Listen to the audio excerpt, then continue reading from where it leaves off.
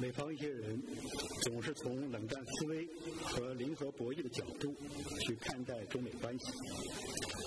鼓吹围堵打压中国，这是当前中美关系面临严峻挑战的重要原因之一。中国始终是国际秩序的维护者，是国际公平正义的倡导者和实践者，与美方在国际上屡屡退群毁约。对国际法合则用，和则气，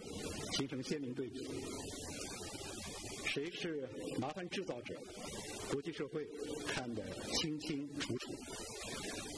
如果一定要说中国希望改写什么的话，那就是中国不会走国强必大的老路，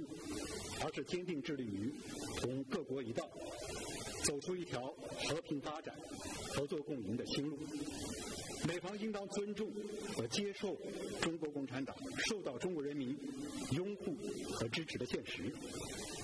而不是肆意诋毁、污蔑中国共产党，百般挑拨中国共产党和中国人民的关系，